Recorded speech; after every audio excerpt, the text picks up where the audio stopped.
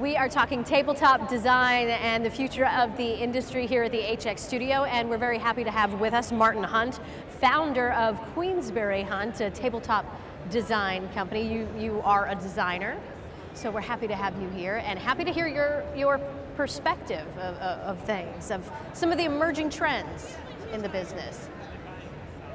I think in food service, certainly in uh, the smaller restaurants, the specialty restaurants, uh, restaurateurs are choosing from uh, some of the beautiful products that are available now from small potteries in retail.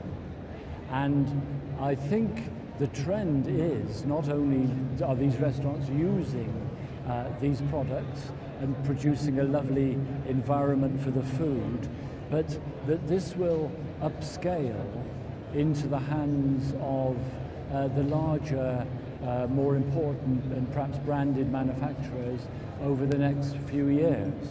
So, so is it, I, I know the ambition you could say, is really to get the materials used by the studio potter uh, really into the hands of, of, of, big production. Yeah, so, so where in a major hotel chain you may in each hotel have four or five different uh, eating places, uh, one of which is probably a bistro or a tapas bar.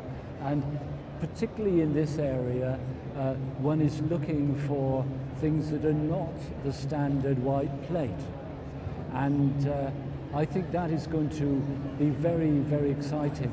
And we have uh, in, our, in my area of ceramics 16 and a half thousand years of people making pottery to use and to cook in. 16 and a half thousand years, you'll see these in museums. And from all of this culture, there is a tremendous possibility that one can pick the cherries from those years and make them in a new way for us to have around us uh, to eat off now. So you want more of the those kinds of things. You want to see more of those kinds of things. Do you think that's the I trend? Would, I would like the diversity of ceramics to be clearly uh, obvious, certainly in the food service industry, as it is in retail. Right, and we, we talked off camera too about this, but the, the way of serving food, the ways of serving food, uh, certainly becoming more diverse. And how does that fit into tabletop design? If you look at the normal menu anywhere in the world, it's often or mostly split into three parts. The first part's called antipasti hors d'oeuvre, starters, maybe mezze, could be even tapas. The second part is the main course, and the final bit is the sweets. Now in that first course are all these really delicious things that some people now may be saying, I'll have two of those, not a great big main course, right? I'm watching my health, perhaps they look so lovely. Now, the food service via ceramics, glass, and other materials for that first one third of the menu is very exciting.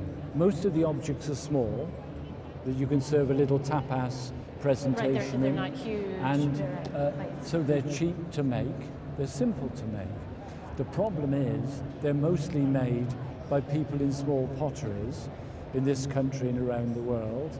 And uh, our job, as I see it, is not to knock those people out of business, but to be able to lift some of the nicest qualities of the ceramic material, the color, the texture, uh, that is so nice with food into a more quantity production category.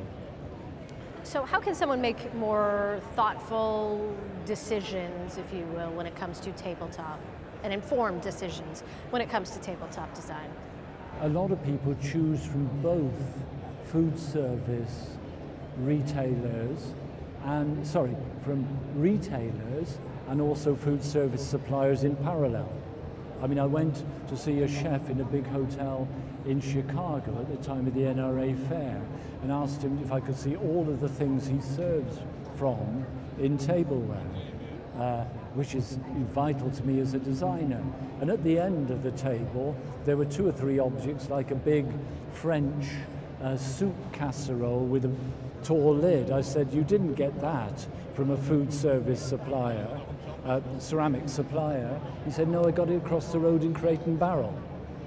So people, even in big organizations, are choosing in parallel retail ceramic products that might have a particular quality, as well as the perhaps more durable and well thought out food service suppliers' products. Well, we appreciate you being here and uh, offering those pointers and uh, some advice too for us. Thank you for stopping by the HX studio. Oh, it's, it's, it's been a pleasure. Martin Hunt, founder of Queensberry Hunt. Thanks for being with us. We'll see you again next time here at the HX studio.